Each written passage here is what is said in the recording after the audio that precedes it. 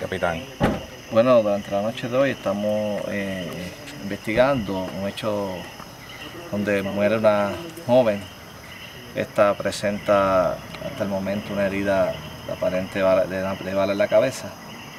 Y de estos hechos también una niña menor de edad que también resultó con una herida en una de las mejillas una herida de bala. Eh, la, investigación está en una etapa inicial, en este momento no, hasta que tanto no culmine no vamos a, dar otros detalles respecto a la misma. Eh, estamos en la etapa de entrevistas, vamos a comenzar en estos momentos, por lo tanto hasta tanto no tengamos un cuadro más claro de estos hechos, pues no vamos a emitir comentarios.